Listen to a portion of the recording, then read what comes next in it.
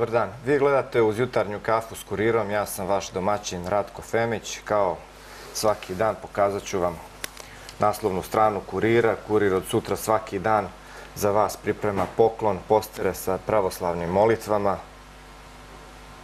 A glavna priča na naslovnoj strani kurira je ponovo slučaj ubistva pevačice Jelene Marjanović. I ovo rasvetljavanje vidjet ćemo u kom će pravcu da ode. Još jedna od priča je da je Srbim koji je otet pre dve godine u Libiji pogubljen. Vladika Irinej je uzvratio na optužbe ministarke Zorane Mihajlović i poručio je da je nadobudna. Kasnije ćemo da prelistamo još nešto od novina, da vidimo koje su to još aktuelne teme za danas ali kroz neke aktuelnosti koje su obeležile ovaj početak nedelje. Razgovarat ću sa mojim današnjim gostom, gospodin Srđan Nogo, narodni poslanik Skupštine Republike Srbije, narodni poslanik Dveri, je li? Tako je. I predsjednik organizacije Dveri za grad Beograd. Tako je. Dobro, gospodine Nogo, evo nismo baš o tome mnogo razgovarali u ovoj emisiji, ali štrajk prosvetara je započet još pre nekoliko nedelja, najavljivan, pa je onda navodno došlo do nekog dogovora. Evo vidimo da ipak da će prosvetari ponovo da krenu u štrajk. Pa za kraj septembra, kako sam vidio, najavljen je protest svih sindikata u prosveti i to je jedna od jasnih poruka da prosto socijalno stanje i ekonomsko stanje u Srbiji je daleko od onoga kako ga predstavlja aktualna vlast. Naravno, problem sa prosvetom u Srbiji i sa položajem prosvetnih radnika nije nov problem. Mi svake godine, sa početkom školske godine, smo svedoci da ljudi koji rade u prosveti e, ukazuju na sobstvene probleme, pregovaraju sa vladom, dobiju neke sitne ustupke i sitne olakšice od strane aktualne vlasti i tako se reši e, problem do sljedećeg septembra. To je svakako ovaj, loše zato što prosveta nije trošak. Mi stalno govorimo kako nam je stoji nešto hiljada zaposlenih u prosveti Srbije, trošak u budžetu. Ne, to je investicija. To tako treba posmatrati. Govorimo kako su nam oni trošak, a onda se ponosimo nekim rezultatima kad neki naši ljudi postignu pa, ili ovde ili... matematičku gimnaziju koja je perfektna škola. Naravno, a da bi se došlo do rezultata, ipak treba ti neki prosvetni radnici da izvedu te ljude na pravi put. Procenat ljudi koji radi u prosveti sa visokim obrazovanjem je izuzetno visok, zato što su to i učitelji i nastavnici u školama su ljudi sa završenim fakultetima. I ne postoji praktično oblast e, društvena gde imate toliko visoko obrazovanog kadra. A sa druge strane, oni su pocenjeni. Ne samo ekonomski, njihove plate su zaista ispod republičkog proseka. Oni su pocenjeni u smislu društvenog statusa i društvenog položaja. Učitelji, nastavnik je izgubio i profesor je izgubio svakakav autoritet.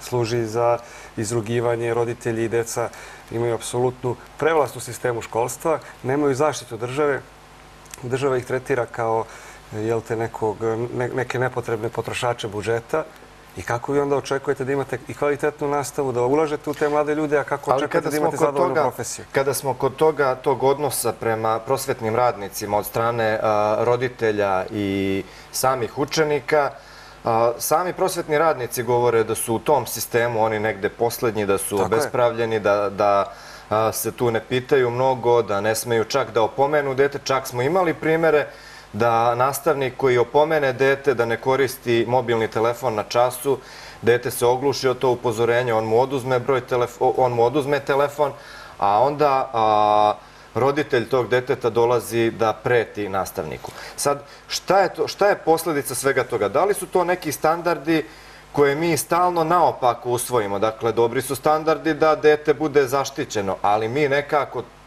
sve to izvedemo u nekom pogrešnom pravu. To je sad jedan čitav koncept malo veći juvenilnog prava i generalno uništavanja svih autoriteta u društvima, pa tako i u srpskom društvu. Uništava se autoritet profesora, uništava se autoritet roditelja u okviru porodice. Mi imamo potpuno nakaradne stvari za koje pre deset godina možda niko nije smatrao da mogu da se dese u Srbiji, ali se dešavaju. To su sistemske mere. Pa to vam je promocija homoseksualizma, to vam je uništavanje autoriteta roditelja, to vam je forsiranje nekakvih izmišljenih dečjih prava, znači na uštrb mogućnosti roditelja da odgovara za vaspitanje svoje dece.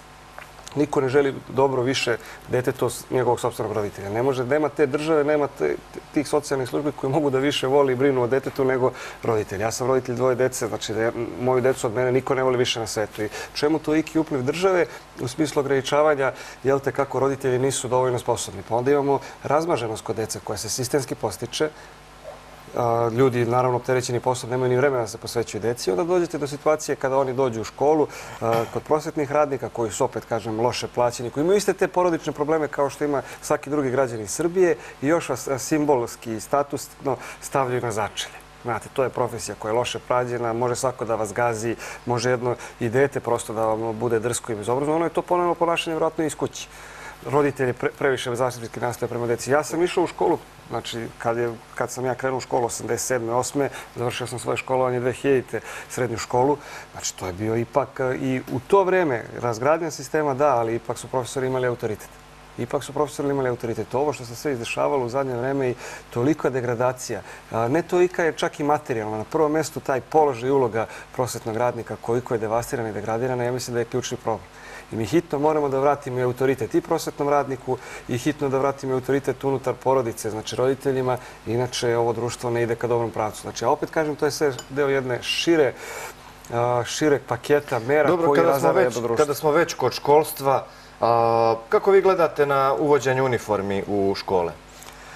Pa taj, ta ideja bi morala da bude mnogo dobro osmišljena.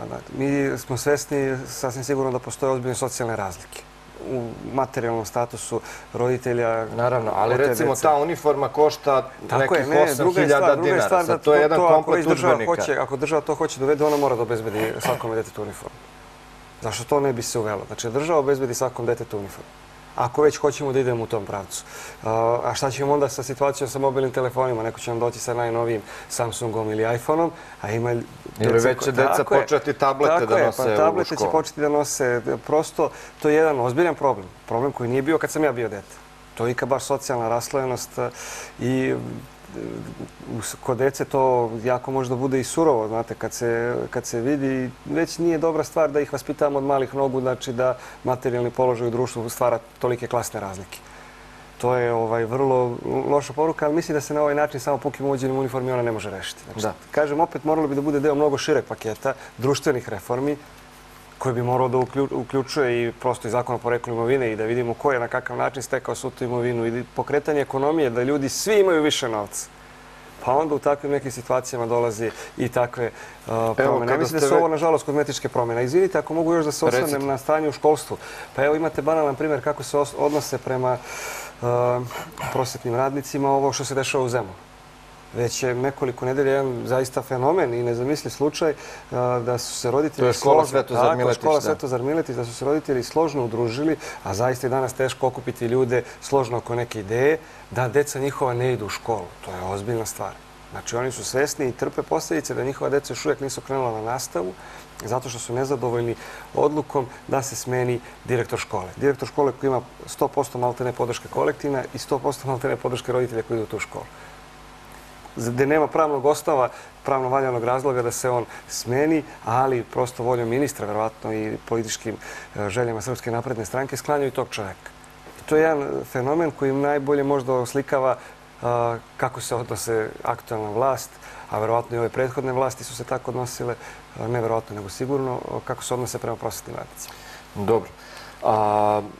Zakon o poreklu imovine, e, dosta smo razgovarali o tome, dosta mojih e, sagovornika ovde je to pominjala, pa evo sada i vi. Evo imamo jedan slučaj pred Agencijom za borbu protiv korupcije, ispitivanje porekla imovine e, stana ministra Aleksandra Vulina. I sada, dakle, stan košta oko nekih 200 i nešto hiljada evra, ne znam. Ono što smo mi mogli u medijima da vidimo, je da je gospodin Vulin rekao da mu je to ostavila rođaka iz Kanade. Tetka iz Kanade. I sada vi bez tog zakona vi ne možete da uđete da ispitujete da li je to stvarno ostavila tetka iz Kanade ili je to imovina stečena na neki drugi način koji je možda čak i nedozvoljen, nespojiv sa funkcijom na kojoj je ministar. Apsolutno. Glavna stvar kod zakona o poreklu imovine je što je tere dokazivanja na imovcu imovine. Znači, ministar Vulin bi morao da dokaže da je zaista imao tetku, da je ta tetka zaista imala imovinu, da je ona preminula ili da mu je ostavila u nasljedstvo, jel te, toliki novčani iznos. Znači, u Kanadi postoji, naravno, njihovi instituciji i organi. To se vrlo lako može provjeriti, doneti papiri i gospodin Vulin bi mogao da donese i kaže, evo, izvolite, ja sam čisti, to je moj novac. Očigledno toga nema, jer onda ima, oni bi bez tog zakona donao te papire. Njegova sama reč nije dovoljna. Neka pokaže papire. Papiri moraju da postoje. Ne možete kako neko da vam da 200.000 evra. Mislim da razbijemo i tu famu. Ministri ne zarađuju neka basnoslovna sredstva. Mi smo to i rekli u Skupštini. Znači, dosta sa demagogijom. Niti jedan ministar ne živi od plate. Znači, ne bi mogao sebi da priusti taj život od plate. Direktor javnih preduzeća i tako dalje i tako dalje. Onda vi sami sistemski postičete korupciju. Naravno. A svi oni voze skupe automobile koje sa tim platama i sa tim standardom ne bi sebi mogli, ne bi sebi mogli da priušte. Eto, stan od 200.000 evra, to je stvarno neka imovina o kojoj ogromna većina građana Srbije može samo da sanja. Znate kako, mi, mi tu imamo jedno konkretno rešenje i vrlo jasno rešenje svoje vremeno kad su bili pre nekog vremena predsjednički izbori, naš predsjednički kandidat Boško Bradović je potpisao overenu ostavku. I to ne blanku ostavku, nego uslovljenu ostavku. Da će uraditi određene stvari. Isto vremeno obavezao se da u slučaju da zloupotrebi na bilo koji način e, položaj, da odgovara i krivično pravno i materijalno pravno celokupno svojom imovinom. To bi bila izjava koja bi trebala da se potpiše od strane svakog nosioca javne funkcije da li on političar koji je izabran na neku funkciju, da li je neki državni funkcioner koji je po prirodi stvari na toj funkciji sudija, tužilac, da li je pak neki direktor javnog preduzeća. Hajde da odgovara. I zamislite sad imate situaciju nekog Dušana Bajatovića ili nekog Spashovskog koji su propastili ili ogromne dugove napravili RTB Boru ili Srbija Gasu ili XY drugih preduzeća. Zamislite da on odgovara... Taj Spaskovski je jedan od najžilavijih, ja mislim, najžilavijih javnih ličnosti. Pa sigurno da ima razloga ovaj, zašto ga neko drži. I strukture u strukturu prelazi, kažu da u stvari ne kažu, videli smo to na onim snimcima da je čovek kabadahija, lokalni, psuje ljude, svađa se sa ženama. Što inače čest mani vidimo ovih dana ovaj, pripadnika vlasti po raznim mestima. da on odgovara za poslovanje s obstvenom imovinom. Pa ako nije napravio profit i prihod bolji nego u prethodnom godini, nula dinara mu je plata. Ako je napravio štetu, odgovara svojom imovinom. A ako si napravio dobar profit, pa onda i uzmi ozbiljan procenat od tog profita. Znači da dobije jednu stimulaciju. Onda bi stvarno i ozbiljni menadžeri bili zainteresovani da vode javna preduzeća. Ali gdje je tu odgovornost? Znači, ključni problem Srbije nema odgovornosti. I niko nikad nije odgovara. I vi ste pokret dveri jednostavno nezadovoljan nekim e, stvarima u društvu, realitijima i ostalim, da kažem, negativnim pojavama, vi ste se e, okupili ispred zgrade Pinka i došlo je do jednog incidenta. I sada kada smo već kod toga, kod tih napada na žene i e, vređanja žena, tu je bilo i nekog fizičkog napada na dve novinarke Pinka. Vi ste se ogradili od tog napada. Ko je taj napadač? Ko je taj koji je priveden? Dosta da, dosta od jednog pitanja, odgovorit ću na sva. Najpre naš protest je bio zakazan ispred vlade Republike Srbije. I protest je imao završetak ispred radio televizije Srbije. Takav je bio prvobitni plan i mi smo prosto ovaj, želili da ukažemo na loše, loše stanje u društvu, na lošu politiku koju vodi aktualna vlast i da damo priliku da se sa tog skupa i čuju određene socijalne grupe kojih e, nisu zastupljene u javnosti i koje sama vlada ignoriše. To su radnici brojnih propalih preduzeća, odnosno namjerno propaštenih preduzeća širom Srbije koji, koji imaju velika potraživanja za neisplaćene zarade, za svoje sobstvene akcije, E, to su ozbiljna dugovanja koja se kreću od 10 do 20 hiljada evra po čoveku, u često slučajima, naravno, neki manje zavisnosti od toga, koji nisu primali plate, na primjer, i po 20 meseci. E, protestuju u svojim sredinama ispred svojih fabrika ili ispred same vlade Republike Srbije, a prosto njih niko ne prima i niko ne čuje i svi ih ignorišu. I to je bio probitan cilj protesta. Na to sve se nadovezuje Pink televizija, koja je jedna udarna pesnica Aleksandra Vučića. Aleksandar Vučića ako ima dve pesnice, to su informeri Pink. On kontroliš i politiku i novosti, i Jalo, i Srpski telegraf, i HEP, i Radio televiziju Srbije, ali su možda ovo dve... udarna pesnica Aleksandra Vučića, ranije su bili udarna pesnica nekog drugog. Pa Željko Mitrović je bio udarna pesnica Jula, pa je bio nerazvojni partner Bebe Popovića, zajedno su raketirali ljude, pa je bio sa Đilasom, pa evo sada udarna pesnica Aleksandra Vučića. Onda se on nadovezao sa svojim realitijem, sa željom da mu imuniše Srbiju Znate, direktno i- vlast stoji iza promocije realitija u Srbiji, jer želi da anestezira i zagluplji ovaj narod. Njima to odgovara. Umjesto političkih emisija, umjesto društvenih tema koje ozbiljno tište ovo društvo, dajte narodu neke budalaštine. A, Pazite, kaka- kakvu poruku šalje Pink kada, ili Happy televizija kada promovišu one svoje realitije? Mi imamo neki fenomen da postoje izvesne starlete koje se promovišu jel, te, u javnom a, medijskom prostoru. A, Narodski rečeno, to su prostitutke ili ti srpski kur. Da se ne lažu. I sada vi treba da promovišete prostitutke na, radio, na javnim frekvencijama i da stavljate uzor neki mladim ljudima, mladim devojkama, da je to poželjan model ponašanja. Zašto? Zato što ako se tako ponašate, vi ćete biti slavni, imat ćete novac, imat ćete skupu garderobu. Ukoliko izaberete neki drugi put, a, borit ćete se da dobijete radno mesto, da se izborite za svoju zaradu, Ali nećete Pink moći i da Happy su privatne televizije. A, pazite, šta znači privatna televizija? Evo ja odmah da vas pitam. Dakle, televizija ja koja ima novac, privatnog- a Evo, ako ja imam novac, ja mogu se ponašam kako hoću. Mogu da budem kapadah i da idem da maltretiram ljude. Naravno da ne mogu. Naravno- naravno ograničenje. ali šta je- Mi šta je imamo tu Ustav zakonsko- Republike je Srbije, tu imamo zakonsko zakonsko ograničenje? Imate zakonsko ograničenje da ne možete da radite nešto što vređa, na primjer, javni moral. To vam stoji u Ustavu. To vam piše u Ustavu. Znači, eter je javno dobro. Željko Mitrović je vlasnik zgrade, vlasnik opreme. E, to je Ali druga- onoga to je trenutka- drugi problem, odnosno prvi problem. Kada izađe program koji je on stvorio u etar, koji je javno dobro i koji je on dobio a, na korišćenje, njemu je REM, tada je RRA, ranije je dao frekvenciju, nacionalnu frekvenciju koja je javno dobro. E, naravno, E, tu, možemo da se složimo, jer a, nije Srbija izmislila reality programe. Tako je, apsolutno. Oni se, oni se daju svuda jeli, u svetu, ali imate privatne kablovske televizije, pa ti na privatnoj kablovskoj televiziji, izvini, čovek plaća za Ali tu tu postoji televiziju. stvar dobrog ukusa. Naravno, Na primjer, naravno. sadržaj koji bi bio neprimjeren za- za mlađe od 18 godina ili ti sadržaj, na primjer, pornografije. Ne može da se pušta sada u 12 sati, u 10 sati na televiziji. Pa to vam je kao što imate ograničenja. programe koji su kodirani i dete ne može da pristupi tom programu. Znači, ograničenja moraju da postoje i za eh, privatne televizije koje žele da emituju reality. Ovdje je po meni- emitujete, ovdje je po pogledajte meni to, veliki problem. Neko pro- promoviše nasilje, oni se tuku, eh, šta se ne rade na toj zadruzi. Pa ja mislim... A, po meni najveći problem je tu što su to televizije sa nacionalnom frekvencijom koje su da bi dobile nacionalnu frekvenciju morale da izrade jedan Nešto je drugo problem elaborat. sa Pinkom. Drugo je nešto problem sa Pinkom. Vi ste malo prekonstatovali da je on bio poslušnik svake vlasti. Željko Mitrović se ovde sistemski omogućava da izbjegava zakon. Znači, za sve nas važi jedan zakon, za druge, za- za određene povlašćene važi drugi zakon. Uzmite banalan primjer novine Čistevi uredni kurir, koja je dobila e, blokadu, a da im se nije utvrdio porezki dug. Kod gospodina Mitrovića je sve moguće. Mi smo mu postavili jedno pitanje na koje on uporno izbjegava da da odgovor. On je, Pink televizije uzela kredit od jedne poslovne banke, 27 miliona evra i 5 miliona od tog kredita je uplatila na račun Ukrajine. Kome je uplatio taj novac ti 5 miliona? Zašto mora da da mito od 5 miliona evra da bi dobio kredit od 27 miliona evra? Koliko imovinu morao da stavi pod hipoteku? Ko je onda uopšte pravi vlasnik televizije Pink? Čemu služi Pink? Da li je on reketirao razne firme u zadnjih 17 godina i na koji način na kojim e, mahinacijama? Nema odgovora za to. E, to je pravi problem. E, ko je Željko Mitrović, odnosno šta je Pink televizija? E, mi imamo problem sa tim. Program je jedna stvar, to se lako da urediti, ali ako imate mogućnost da vršite krivična dela, to je onda druga stvar. Mi nismo čak potezali neke druge stvari koje narod ovde jako primećuje, a to je dupli aršini i nepravda. Slučaj na, tragično nastradale devojčice Andreje Bojanić.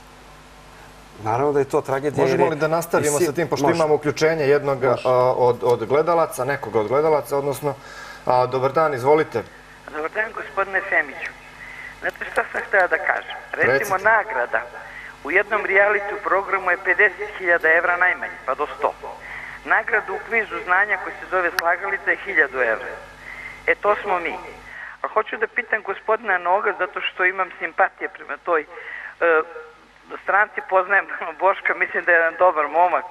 Ne znam šta je to sad takva povika na njega ali e, znači bila išla sam na njegove tribine tako gledala sam i poznajem gospodina Vesovića doktora evo pitajte njega koliko je do novca dato za novu godinu jednom bendu koji je svirao na trgu na, kod nas a nije niko došao zato što kod nas jednostavno tradicionalno ljudi ne odakle izlaze zovete, izvinite? Kraljevo, vjerojatno. na trgove. I ovaj, htio sam da kažem kada naš državni vrh kaže da je šta sad, pa to je privatnik, nećemo se mešamo u njegov posao, kao što je onaj nesrećni Pink, ili recimo pa fabrika je privatna, mi tu ne možemo ništa, a privatnik je i kurir. Pa kad kritikuje vlast, onda je bilo stravičnih stvari, to što smo slušali svaki dan. Znači, imate vi neke kriterijume vi u vlasti, ovo nije u vlasti, ako je privatnik, da ili ga diraš ili ga ne diraš. A ne kurir je na stubu srama, a zato ovaj Pink, znači ovo, ovo, ovo farsa s ovim novinarima koji leže u garderobi, u krevetu, u bolnici, strašno, mi se barem pidžame da su obukli. E, ja se izvinjam, ovaj, e, hvala vam. Hvala vama što nas pratite. Evo, prekinuo sam vas, Da. rekli ste, dakle, ako možete da ponovite samo. Znači, tragičan je i taj momak, sin Željka Mitrovića koji je vozio džip.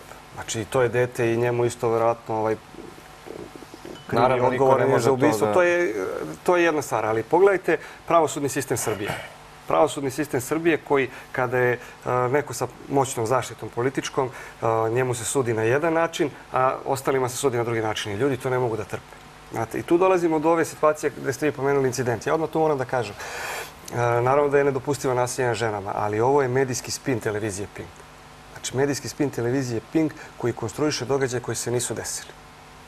Određenih incidenta A šta je- šta je očigledno recimo bilo. spin Ali ili evo ja odmah vam manipulacija, kažem, jedna politička nekorektna izjava. Ja mislim da je ovdje već vreme da, što se kaže, sahrani se politička korektnost, jer kad narod propada, kad država propada, kad su toliko ljudi u sad. problemima, mi ne možemo da budemo politički korektni. Meni je žao lično, evo, posle svega ovoga, što ja nisam bio taj koji se zaletao na obezbeđenje Željka Mitrovića, da dođem da ga pitam koji je njegov problem i kako on može da gađa ljude bananama i da ih raziva majmuni. E, to je ključni problem. Znači, imate jednu takvu ličnost, gde sam malo prepomenuo, za njega važe jedni zakoni. Čovjek koji je umešan ozbiljna krivična dela, koji ne odgovara ni za šta, koji može da se ponaša kako, misli da može da se ponaša kako on želi, očigledno pod uticajem narkotika diriguje i provocira ljude. Sa druge strane imate ljude kao dotični kojeg ste pomenuli koji je okrivljen za sprovođenje tog incidenta. Ali ajde da vidimo u sudskom postupku šta se zaista desilo ispred Pink televizije. Naravno da treba da odgovara ukoliko je, je A da li vi poznajete, poznajete čovjeka koji je napao novinarke? Apsolutno Da li ga ne. neko iz dveri uopšte poznaje? Ja ne, mislim, ja ga ne poznajem, otko znam ko je čovjek. Ne znam zaista da li ga neko zna. To moram da... da On je iz ovaj, Lučana, kako smo videli. Ja sam vidio u sredstvima javnog informisanja da je čovjek iz Lučana, da je ovaj, određen mu je pritvor, koliko se vidio u višem sudu na tri, u roku od 30 dana. Realno, da je bilo ko drugo i da nije bila javna ličnost, to bi bio prekršaj a ne krivično delo koje goni viši sud po Ali recimo kada službenoj kažete dužnosti, medijski ali- spin, a, televizija Pink je puštala jedan snimak gdje se vidi da taj čovjek a, se zaleće na a, novinarku koja mu je okrenuta leđima i neko je obgrlio nju. I vidi se kako je krenuo da je udari, ali se ne vidi taj sam moment da je ona pretrpela udarac, jer kada vas neko udari, vi morate ili da Tako klecnete, je, da, tako da je. reagujete Postoje na udarac. očevici događaja, ko- postoje očevici događaja koji su već i, odnosno tek trebaju da budu saslušani u tužilaštvu, koji a, su to vidjeli. Ja nisam bio prisutan, odmah da vam kažem. Ja nisam bio prisutan, mi smo završili skup. Predsjednik sindikata krenuli- Sloga, on je bio Željko pored. Veselinović Željko Veselinović je bio pored. Evo imamo, evo imamo a, taj snimak. Ja moram da priznam da meni ovaj ovo dirigovanje Željka E, ovu, Mitrovića. gledajte da. ovu scenu. Znači, u obezbeđenju Željka Mitrovića. Znači, da objasnimo građanima šta se desilo. Mi smo završili protest. Odnosno, performans, to je bila konferencija za štampu, mi smo povukli jednu liniju. Liniju koja razgraničava sistem vrednosti koji predstavlja Željko Mitrović, sistem vrednosti koji mi a, predstavljamo i pozvali smo ga i rekli dođi Željko na crtu. Kad već ne smeš da na svom mediju izađeš na TV duel, evo, ako si već tu, dođi slobodno na crtu, izvoli stani tu i prosto ima igre reči jasne i aluzije Da. u, u našem performansu. I napustili smo događaj. Ljudi su krenuli da odlaze. Međutim, Željko Mitrović u tom trenutku preko razglasa uh, se obraća i kreće da provocira. A šta vam je govorio? Ja sam čuo samo ovu operu, ovo falširanje. Nešto je dobacivao, svašta je vikao, ovo je moja televizija, ja mogu da se ponašam kako hoću, ovdje ne I on je to pokazao, onako demonstrirao je stvarno da može da se ponaša kako hoće. Meni je to a, na neki način bilo pomalo onako simpatično jer ste vi tamo razjareni, došli ste nezadovoljni, a on tamo demonstrira da može da, ra- da, može da diriguje, da čovjek uživa E, tamo. Očigledno ne može. I sva odgovornost, ako je bilo bilo kakvih incidenata je na Željko Mitroviću. Željko Mitrović je čovjek koji je isprovocirao. Ja sam vidio na internetu da je a, lice koje je napalo obezbeđenje Željka Mitrovića.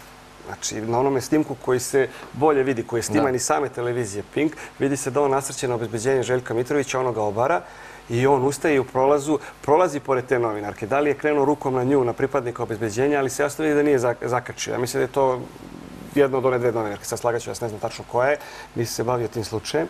I dobro, ali one su već evo nekoliko dana Tako u, je. u bolnici. Ali šta ćemo ja. sa slučajem gospodina kog ste vidjeli da je oboren?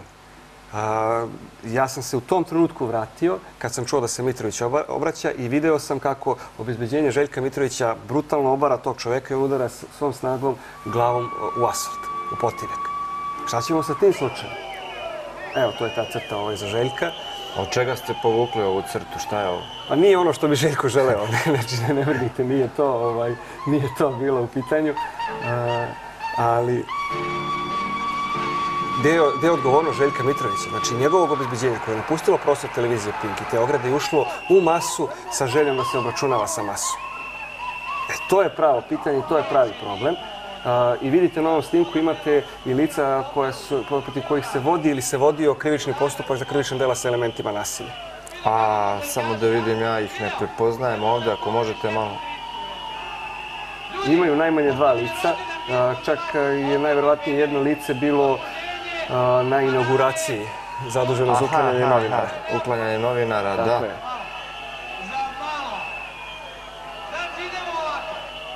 Tek treba za jedno da izvučemo ta- tačnu stadiju krivičnog postupka. Da, da, Bio je da, da. krivično odgovoran za prebijanje jedno ovaj, naših teških telesnih povreda. Vodio se postupak, mora provjeriti dokle se stigo sa tim postupkom. Tako da, Čovek koji je učestvovao u formiranju Jugoslovenske udružene levice govori o liberalnoj ekonomiji danas. Ovo je dobro. Ali dosta je vremena prošlo, svi se menjamo, Tako, ja jeli? mislim, ja mislim da prosto Mitrovićem ne treba se baviti. On kao ličnost apsolutno je nezan- nezanimljiv, ali uh, nečovečnost i krivična dela koja ostaju za dotičnog uh, su nešto što svakako treba da zanima nadležne organe. Nažalost, mi nemamo instituciju u Srbiji. Imamo, dveri- imamo ponovo, izvinjavam se, a, nekoga već nas duže a, čeka, neko od gledalaca da nešto pita. Dobar dan, izvolite. Ratko, Izvolite. Ratko, pre neki dan sam ti rekao za jednu tetku, a sad hoću da ti kažem i za drugu. Jedna je tetka Danica Drašković, to znaš kome je. A druga tetka je Mira Marković, ona je Željkova tetka. E, Dobro, jel imate Znači- možda neko pitanje? Malo ćete pa ovako da jedino ostanete što bi mogao da pitam gospodina i da, i da ga podržim. E, a pitanje bi bilo e, zašto se ovoliko odugovlači kada ima toliko tema e, e, da se ruši ovaj Vučić. Jer penzioneri su najebali. A jedini koji su u celoj ovoj šemi najbolji, oni su najviše najebali. Da. Hvala vam, gospodine. Hvala što nas pratite redovno. Dobro, dakle, penzioneri se javljaju. Jeste. Suština je, čovjek je, ajde da kažem slikovito, objasnio problem srpske opozicije koja nažalost ne postoji. I očigledno je da ljudi u opoziciji misle da mogu da sede u fotelji, da kucaju Twitter i da će Vučić pasti samo od sebe. Ne, on će tako da vlada večito. Ali ovdje nije sam Vučić problem, ovdje je problem sistem. Sistem koji a, doće posle Vučića Vučić. Kao što je posle Tadića došao Tadić, još gora možda verzija. Tako se može da se desi da i posle Vučića dođe neka druga, a, malo drugačija verzija Vučića. Gospodine, Ako se ne promeni gospodine sistem. Nogo, ovdje je sve dozvoljeno sem da se sluti na gore. Tako je, tako je. Ja, ajde da gledam optimistično. Ja se nadam da ovaj, će konačno doći vreme da nam krene na bolje. Jer sistem mora da se menja u Srbiji. Iste kriminalne kombinacije koje su nastale za vreme DOS-a, Demokratske stranke, Demokratske stranke Srbije, SPS-a, SDP-a i svih ostalih stranaka, sada isto funkcionišu. Samo su ih preuzeli drugi akteri, odnosno preuzeli su neke druge igrače. Pa imate Gorana Vesića sada u gradu u SNS-u, imate Senišu Malog sada grada načelnika u SNS-u, imate Ljajića kao koalicijne partnere, imate Ivicu Dačića i SPS kao koalicijne partnere i imate neke tu nove igrače, Imate kumove, ministra braću i privrede, tako je, tako dakle, je, koji je bio u. DS-u, Goran Knežević. I ubaci se tu par novih iz SNS-a, neki Kokeza, neki Nikola Petrović, neki Andrej Vučić i samo začini taj sistem, ali taj sistem funkcioniše savršeno. Isti način, samo drugi igrači naplaćuju ili neke druge džepove idu. I to je ključni problem u Srbiji. Ako ne promijenimo sistem, gotovo je. A pravosuđe na isti način služi poltronski toj vlasti, policija je blokirana, a, tako da su to ključni, Ajde ključni malo o tim a, dvostrukim aršinima što se tiče a, što se tiče novinara, što se tiče medija. Evo, dakle, kada je došlo do tog incidenta ispred televizije Pink, televizija Pink već specijalizovana za specijal emisije koje na, na teme koje se realno nisu desile, razni državni udari, razni, ne znam, napadi, rušenja Vučića i tako dalje i tako dalje. Organizovala jedan specijal povodom tog incidenta, njihove novinarke su napadnute, oni su zapenili tamo i ono što je po meni čudno, a ne sporno, jer nije sporno osuditi napad, jeli, što su se otprilike iz e, vladajuće koalicije smenjivali su se e, jedan za drugi ministri, neke političke figure koje su osuđivale taj napad. A imali smo slučaj kada su e, novinari uklanjani, izbacivani sa inauguracije, odnosno polaganja zakletve predsjednika Vučića, tada niko od njih nije osudio to, čak je dolazilo i do određenih pohvala iz vladajuće koalicije tim momcima. Poslanik SNS-a, gospodin Đukanović, je rekao da bi on te momke nagradio. Momke koji su bezobzirno izbacili nekoliko novinara i čak onog momka, nastavnika u baš ovoj školi Svetozar Miletić, za kojega je predsjednik rekao da je mogao da napravi masakr, a čovek je mogao da napravi masakr crvenom pištaljkom. Jedino oružje koje je imao. Pa očigledno postoje novinari i postoje partijski vojnici, tako je novinari. I kad su partijski vojnici, ovaj, kad se radi o njima, kažem, Pink je očigledno osinje glezdo i vrlo važna poluga u mašineriji Srpske napredne stranke i zbog toga ga brane po svaku cenu. Ali ja opet moram da se vratim korak unazad. Znači, dveri osuđuju nasilje. Nemaju veze sa nasiljem, ali ispred Pinka šta god da se desilo, krivi isključivo Željko Mitrović. Neću da stavim odgovornost ni na koga. Čak i na tog čoveka, osim ako nije radio po nalogu i instrukciji nekoga sa strane, neću da stavim zato što je on pokazao da prosto ne možete više da raspravite majmoni. Znate, imate, ako je on, ono zaista tačno, da je on socijalni gubitnik tranzicije, da je izgubio pre tri godine posao u fabrici, u, odakle rekao ste, Lučanima, tako da, da je izgubio posao, da živi sa majkom, da žive od njene penzije i sad tu dođe na neki protest i da ga neki Željko Mitrović, koji eh, je te očigledno pod uticajem narkotika ispred svoje televizije velelepne, dolazi i kaže vidite ja sam iznad svih vas, ja mogu da se ponašam kako ja hoću. Opet ponavljam, meni je samo žao što u toj situaciji ja nisam drugačije reagovao, ja nisam bio taj prvi koji je došao do tih gorila i do njega i da ga pita u čemu je tvoj problem. To je ključna stvar. Znači, i verujte mi, sljedećeg puta neće biti potrebe da neki nesrećni čovjek, socijalni gubitnik tranzicija, a verujte, lično ću se uključiti da vidimo čemu se radi u tom slučaju. Ima da se istera ova istina do kraja. I da li je fabrikovano ili nije fabrikovano. I kako je nameštano i montirano ispred Pinka i šta je s ovim nesrećnim čovjekom koji je povređen na strane obezbeđenja Željka Mitrovića i ko su ti ljudi u obezbeđenju Željka Mitrovića. Lično ću se uključiti, a sljedećeg puta neće biti potrebe da neki nesrećni čovjek koji je već dovoljno upropašten od strane društvenog sistema bude prvi koji će da reaguje, ja ću prvi da reagujem. Dobro, da čujemo šta na to kažu naši gledalci. Dobar dan, izvolite. Dobar dan i poštovanje i vama i vašem gostu. Mira Komičarka od Zemuna. Sve ću nešto da vam kažem. Prosto ne mogu da verujem da ne znate kako se pare van plate izgrču. Od svih velikih radova, one koji pobedili na tenderu, mislim na građevinske radove ostaje vrste, daje proviziju. Nemojte da se nasmete što ću da vam kažem. 80. godine ja timo jedan Boeing 707, lično sam s koleginicom išla tehnički prijem bifeja kupovinu dva Boeinga 707. To je enormna suma koju je Boeing dao, koja nije otišla u državnu kasu, neko rukovodiocu JATA i ostalim partnerima. To je isto i sada situacija sa građevinskim radovima. Samo sam sigurna da Vučić ne uzima ni jedan dinar. Drugo krivično postupku nije teško pokazati poreklo imovine za stan od 270.000 evra, jer na neki način i od te plate koju ima gospodin Vulin ne može 50% za sav teret i to nije ta suma. Šta je tu problem ispitati poreklo imovine? To je van van ove teme što vi govorite, ali svima vam je jasno kako se zarađuju pare van plata i dnevnice. Prijatno Hvala, gospođo Miro. Korupcija je ključni problem ovoga društva i svakoga društva, ali ovdje je problem što kriminal i korupcija je toliko srasla sa državom, ušla u sam, samu srži i sam vrh države da mi ne možemo da se izborimo sa tim i da je prosto pitanje opstanka. Jer menjaju se vlasti, menjaju se vlade, ali taj sistem identični pretrajava. I evo, baš da ilustrujemo na ovom primjeru što je pomenula gospođa kako funkcioniše ta korupcija i kako ta korupcija seže do vrha vlasti. Kada je bio izbor e, mandatarke tadašnje, odnosno sadašnje predsjednika vlade Ane Brnabić, ja sam održao jedan govor u Skupštini koji su pokušali da sabotiraju tako što su mi o, isključili mikrofon, odnosno onemogućili mikrofon da bude ispravan, iako je radio savršeno sat vremena, dva sata pre mog obraćanja, e, koji je ukazao zašto je Ana Brnabić predsjednica vlade. Ja do dan danas nisam dobio odgovor ni na jedno od tih pitanja. Najprije nisam dobio odgovor da li ona ikada radila za neku organizaciju koja je a, pod kontrolom ili je sastavni deo stranih obaveštenih službi. A ja sam ukazao na najmanje dve takve organizacije. Isto je, je Bridge i USAID. Zatim, e, nismo dobili bezbedonosnu procenu Dobro, USAID je agencija američke vlade. Tako je, dakle, ali nema... američka vlada samo što je paravan cije i svih cijenih aktivnosti. A to bi mogli da vidimo iz bezbedonosne procene Ane Brnabić.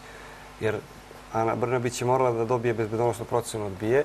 Tražili smo da vidimo pismenu procenu ili usmenu i ko je saopštio usmenu, pošto se često takve procene daju usmeno jer kada je stupala na funkciju nije mogla da prođe bez toga. I da li je gospodin Đorđević, tadašnji šef bije, omogućio da ona prođe tu bezbedonosnu procenu i da li je spona i veza bio advokat Iselović koji je i njen advokat, tako i njen advokat je advokat Siniše Malog. I stoji za svih ovaj, poslova Siniše Malog, a uglavnom nekih sumnjivih poslova. I Ano Brnabić imaju zajedničke poslovi i, njen, i on je zastupa. razlog zašto je Ana Brnabić predsjednik vlade leži u činjenici da je ona bila umešana u aferu Continental Wind. Ako se sećate... Zataškavanje te afere. Zataškavanje te afere. Bojan Pajtić je pokrenuo tu aferu, ali Bojan Pajtić, odnosno Ana Brnebić nije lagala. Ona je rekla da Nikola Petrović nije tražio reket. On zaista nije tražio reket. To je tražilo drugo lice, Nenad Kovač, kum Nikole Petrovića. Neša Roming, Neša Roming, Neša tako Roming. je. On je kum Nikole Petrović. On je bio taj koji je tražio A reket od, Da li je neki poslovni partner bio sa Đilasom? Tako je, on je poslovni Neša partner Roming. i praktično su bili blagajnici Borisa Tadića i Mikija Rakića, a sada je preko kuma Nikole Petrovića najmoćniji klan Srpske napredne stranke. I vidite, on je taj koji je tražio reke gde je svedočenje Lidije Udovički dato u Španiji, da vidimo da li ono značila Nešu Rominga ili Nikolu Petrovića. Bojan Pajti, zato što je dobar sa Nešom Romingom, nije smeo da kaže Neša Roming. Nije pomenuo njegovo ime. I sad imate tu nezgodnu situaciju. Ana Brnović je to pokrila. Ona je bila direktorka, da kažemo, Continental Winds, Continental Winds uh, firme koja je trebalo da izgradi jedan vetropark u Srbiji, veliki vetropark. Tako je. Uh, oni nisu mogli da dobiju... Uh, priključak elektromreže Srbije. Priključak elektromreže Srbije, iako su, ne znam, obećali da će oni neku trafostanicu da izgrade, da ostave to, jeli, uh, elektroprivredi i elektromreži Srbije.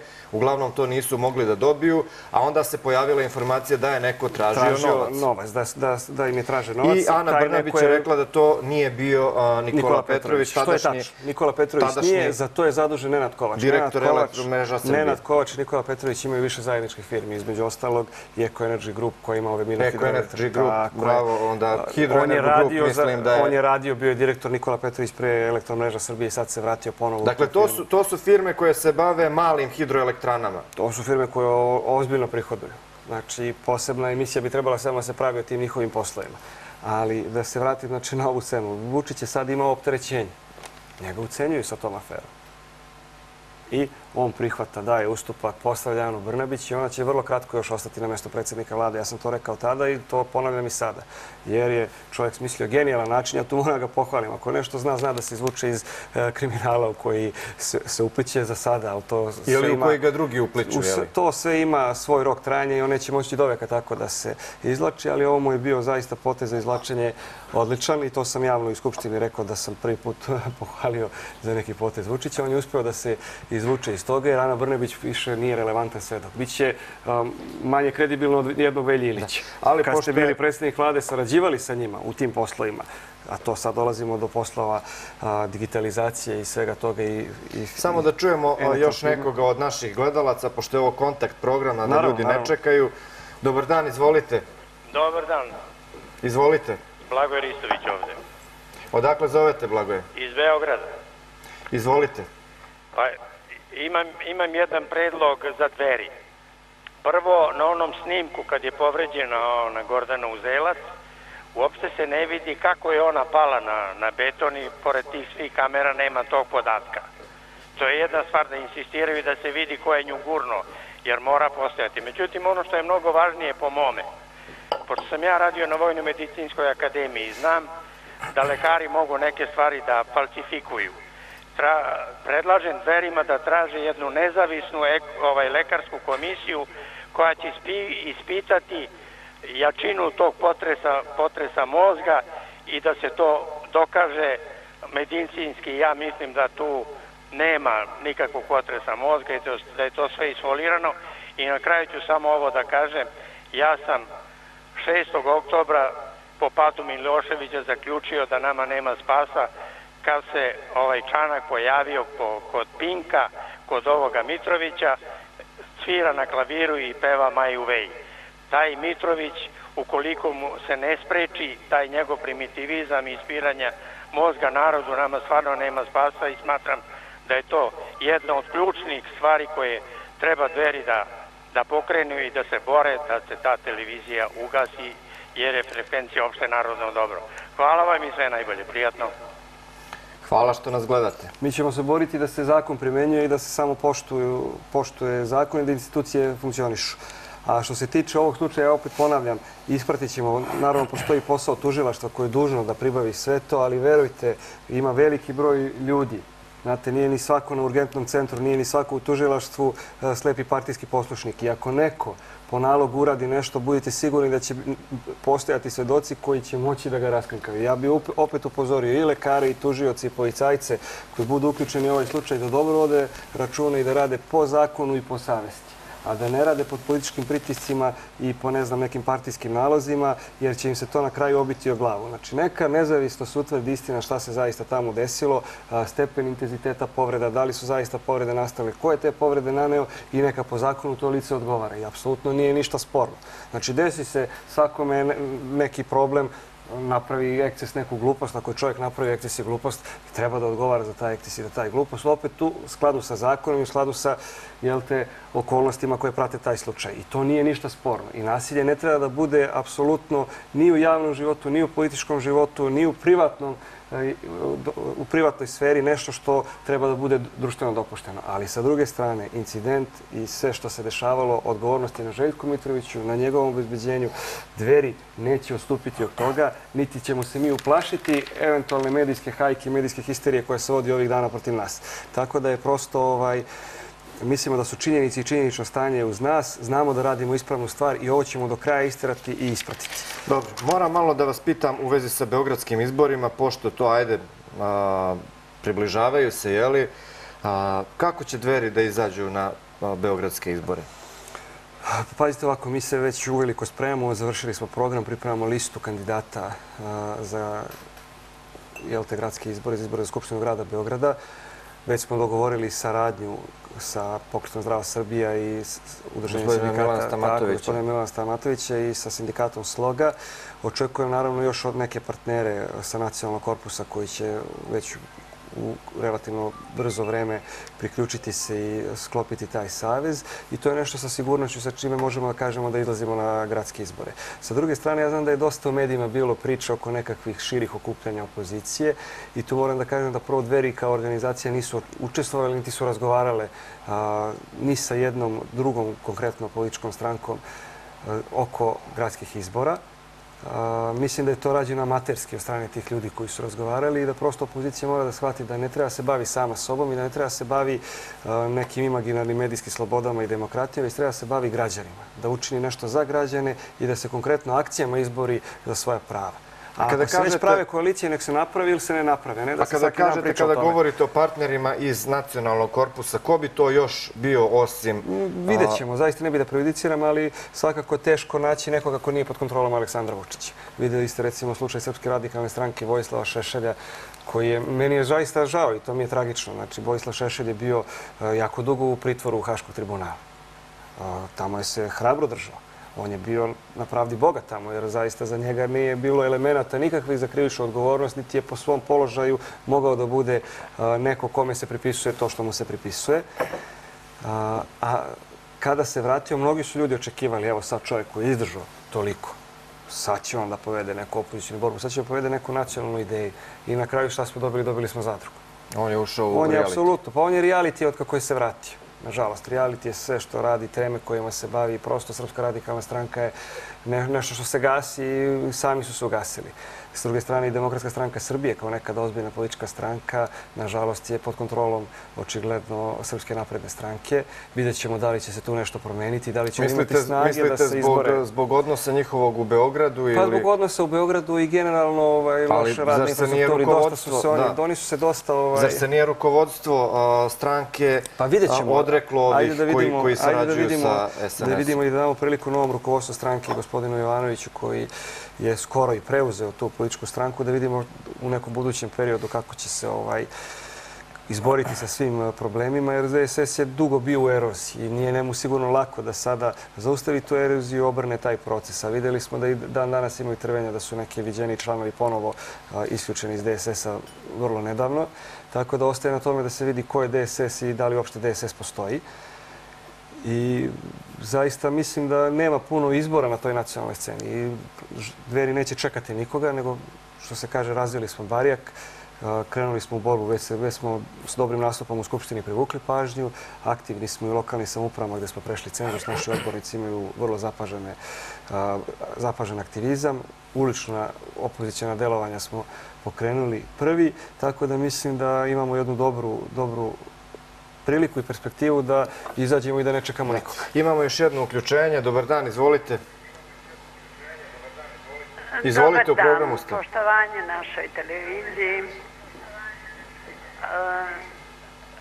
želim da pozdravim poslanika iz Skupštine koji imaju najmanje vremena za govor istine ili neistine, nebitno ali ovaj, bilo koliko građana da je glasalo, ima se pravo na više vremena da se odgovori i da se iskaže svoje mišljenje. Kao što ću ja sada reći, ja sam jedan put rekla da me boli uvo, da li e, je Vučić ili bilo ko rekao da treba donirati organe, i pomoći ovim ljudima. Ali se pitam šta je bilo sa onim čovekom bez, e, pred Pinkom koji je tako dernuo o beton da je verovatno imao povredu unutrašnjih organa. Ali, međutim, na dragu gotu, um, voditeljku na Pinku, je čovek slučajno naleteo i ona je se okrenula i verujem da je u svom pokretu palanju, nije niko udario, nije gurno. Devojka druga, mlada, je bila veoma pribrana u studiju, a ako ima povredu ili komociju, kontuziju, bilo šta mozga, ona ne može da bude tako pribrana, a na kraju posle da završi u urgentnom centru. To zna i najobičnija čistačica i ovo nije u redu, ovo je atak na zdravstvo, Da, to ste dobro primetili, gospođo. Kako to, ako onako ima potres mozga, prvo u studio, pa onda u bolnicu? Pa naravno, ne, ne, nemojte da brinete. Svakako i mi e, ne sedimo skrštenih ruku, prikupljamo dokaze i spremamo se da ih vrlo brzo i dalje prezentiramo javnosti i znamo, opet ponavljamo, znamo šta se zaista desilo. A šta je stvarno bilo sa tim čovekom? Moram da kažem, te devojke su bile, ajde, da poslate od strane Željka Mitrovića da provociraju, ali smo imali sasvim korektno onako. Uh, bile su simpatične sa svojim provokacijama. A dobro, one su verovatno postavljale pitanja, nije to provokacija, to je jednostavno posao novinara. Slaže se. Uh, I ljudi naši su stajali oko njih upravo da bi uh, one bile sigurne. Međutim, po završetku skupa, kada smo svi krenuli da odlazimo, Željko Mitrović provocira, njegovo obezbeđenje napušta ogradu Pinka i tu nastaje sad problem i ekcesi. Zaista je tu nastala gužva da ja, priznajem, nisam očevida s tog događaja i ne mogu da pričam. Ja dolazim i u, trenutku kad se vraćam, prisustujem sceni kada tog čoveka obaraju i zaista... To je obezbeđenje... Željka Mitrovića, tako je, dvojica. Oborilo tog čovjeka. A se to vidi na snimku, pošto ja to recimo nisam vidio. Vidi se na snimku, vidi se na snimku. A ne znamo šta je sa njime, evo znamo da su one on recimo On je bio ceo dan na urgentnom centru čovjek proveo, ja mislim da je, morao bi da proveri, mislim da je ponovo na urgentnom centru. iz bolnice. Tako, ja mislim da je ponovo u urgentnom centru. Mislim da je ponovo u urgentnom centru zbog bolova u glavi, ali ajte da, da vidimo, uspeli smo da identifikujemo ga. Naravno, ja ne bih želeo da on ima problema. Znači, jer svašta može naravno da, da mu se desi, jer onaj ko želi da zatvori ovu priču i da sakrije šta se desilo, može i njega da počne da pritiska, ali Najvažnije je da je dobro, stabilno, provjerit ću jutro su kako je zdravstveno stanje, jer je sinoć ponovo primjen urgentni centar zbog jakih bolova u glavi. To sam, to sam saznao. I vidjet ćemo, naravno, on ima elemenata da preduzme i određene, krivič, određene pravne jel, te mere protiv televizije Pink, odnosno i tužilaštvo bi moralo da reaguje. On će svakako se javiti nadležnom tužilaštvu, jer su ti ljudi njega grubo povredili. A, I to je policija zakazala, to je zaista, moram isto da kažem da je policija zakazala, što je uopšte dozvolila da dođe do fizičkog kontakta između ljudi koji protestuju i obizbeđenja privatnog van prostorija privatne televizije. Evo, ponovo o dvostrukim aršinima. Dakle, mediji koji su poslušni, oni dobijaju određene povlastice, mogu dobro da posluju na osnovu toga, a mediji koji su i ole kritički nastrojeni prema nekim odlukama vladajuće strukture, njima se otežava posao u i onako teškim uslovima za poslovanje medija. I evo sada, Vranjske novine koje postoje duže od dve decenije su ugašene. Osnivač tih novina, Vukašin Obradović, bivši predsjednik Nezavisnog udruženja novinara Srbije, odlučio se na štrajk glađu i posljednja informacija od jutros je da je on prevežen u bolnicu. Ono koliko ja znam, Vukašin Obradović je inače imao zdravstvenih problema čovek, ali se iz nemoći da bilo šta promeni, on se odlučio na taj korak da stupi u štrajk glađu. Kako vi komentarišete ove pritiske na medije, gašenje slobodnih nezavisnih medija? Moram da priznam da nisam previše upućen. Ja sam video da je Vukašin Bradović započeo štrajk glađu i da su novine prestale da izlaze posle dve decenije i to je sve što znam u slučaju. Čak nikad nisam i čitao te novine. Naravno, ne znam ni, ne mogu da ih komentarišem, osim onoga što sam čuo o njima, ali možemo samo da vršimo poređenje sa, recimo, Pink televizijom i količinom državnih funkcionera i žestinom koju su oni ustali da brane, kako je, jer zaista nema čak i ona najnebitnija čivija u okviru SNS-a i njihove koalicije se oglasila uh, kako je to nedopustivo, kako je to privatna televizija, kako je to imovina Željka Mitrovića. Ja opet tvrdim da to i nije više televizija Željka Mitrovića i pitanje kak, čija je televizija, ali gospodin Mitrović nema hrabrosti da uh, odgovara na pitanje ili eventualno da dođe na neki duel. Uh, oni su svi listom stali da brane tu privatnu televiziju. Evo ovdje imamo situaciju da je neki novinar koji nije bilo ko, on je bio predsjednik jednog novinarskog udruženja. Što god vi mislili o tom udruženju, možda Aleksandar Vučić ne voli to udruženje, možda ga ja ne volim, možda ga vi ne volite. Nije ni bitno. Imate novinara koji je poznat novinar koji krenuo štrajkuje glađu i zbog tog štrajka glađu je završio u bolnici. Niko se nije oglasio, koliko ja vidim. I to je jednostavno, koliko ja znam, oni su jako kritički izveštavali o lokalnim funkcionerima i sada neko im se Znate, zamerite se nekome tako zbog toga što ste radili posao, onda krenu da vam karikaju nešto, da vam ukidaju financije tamo. Ne smete da se oglašavate tu. I onda vi jednostavno... Znam kako to ide, znači prosto... Kurir ovaj, je također imao uh, tih problema Taj slučaj sam bolje ispratio zato što je bio mnogo medijski, jel te, uh, prisutni. I onda samo da pogledamo, na primjer, naslovne strane uh, informera Srpskog telegrafa i drugih medija pod kontrolom Aleksandra Vučića, da li je to novinarski? Da li to može se nazove novinar kad stavite recimo sliku vlasnika kurira i razne kvalifikacije koje su lično vređanje? Znači lično vređanje, on je ovo, on je ono. Da pritom nema nikakvog postupka. Možete vi da iznesete tvrdnju i da kažete učinilac krivičnog dela, mi imamo osnove sumnje, na primjer. I onda odgovarajte. Dokažite on vas tuži, dokažite da li ste vi u pravu ili on nije. Ali zaista to je prešlo i granicu bilo dobrog ukusa. Da.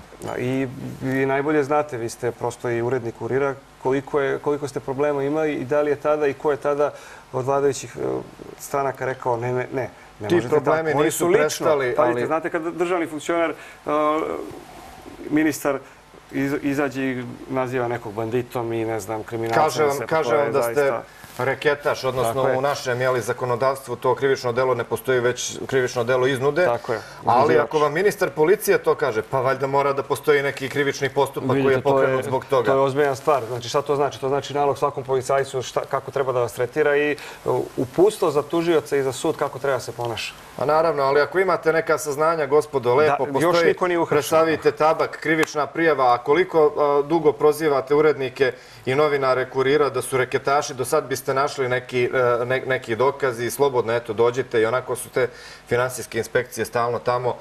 I da li ovaj, je to atak i nasilje na novinarima? Naravno. Pazite, neko ima porodicu, treba da živi, izađete na ulicu i sad vas gleda, znači, otko znate kako ko reaguje. Imate ostrašnjene ljude, možda sa druge strane, neko treba da vas napadne. Kaže, vidi ga onaj reketaš, on kao napada mog Vučića lupom. Evo, vreme je brzo prošlo, gospodine Nogo. Hvala vam na ovom gostovanju. Hvala vam na pozivu. A, idemo da pogledamo vesti i vraćamo se u studio.